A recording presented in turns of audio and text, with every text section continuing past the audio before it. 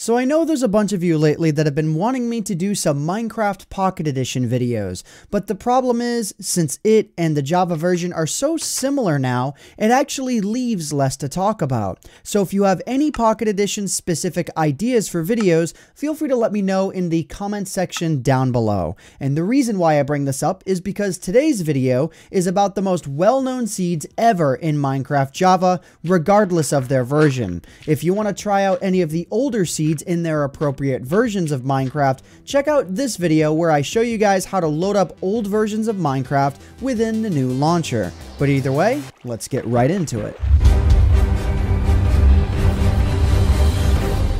So the majority of the seeds on this list are from older versions of Minecraft, and the reason for that is ever since the release of Minecraft 1.0, there haven't been that many seeds that have specifically caught my eye as having been remembered for what they were. So let's get right into this. The first four seeds on this list worked from Alpha 1.2 through Beta 1.7, and first up is 404, which might be one of the oldest well-remembered seeds in the entire game.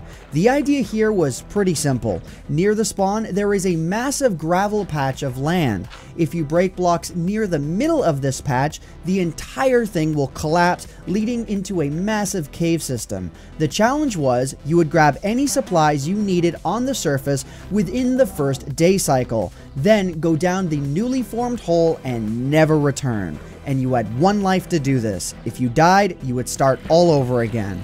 The goal was to just survive for as long as possible and also not use any regular torches, meaning you couldn't prevent mobs from spawning at all. The next two seeds I've shown in multiple videos before, but that's because of just how well known they are the world seed Glacier due to its absolutely unforgettable mountain range just beyond the spawn point, and the world seed Gargamel for just how unique of a spawn location this was. I mean, look at it. You spawn in pure darkness, and you need to use your bare hands to get out. As far as challenging seeds go, Gargamel was pretty up there, and when you escape the hole that you're in, you're met with a crazy mountainscape that you also have to escape if you want to actually explore the world at large. Alright, number 4 the seed used in my Hunt for the Golden Apple series. Back in 2011 and 2012, I ran a series called Hunt for the Golden Apple, which can still be seen on my secondary channel today.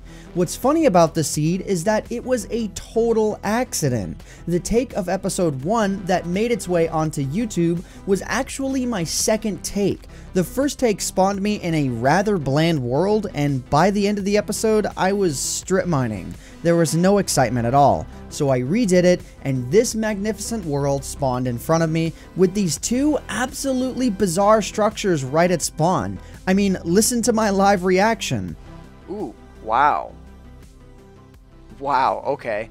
And beyond that, there's a range of gigantic mountains right next to a flat area that gives you an amazing view of everything. Out of all the seeds on this list, this one is my personal favorite.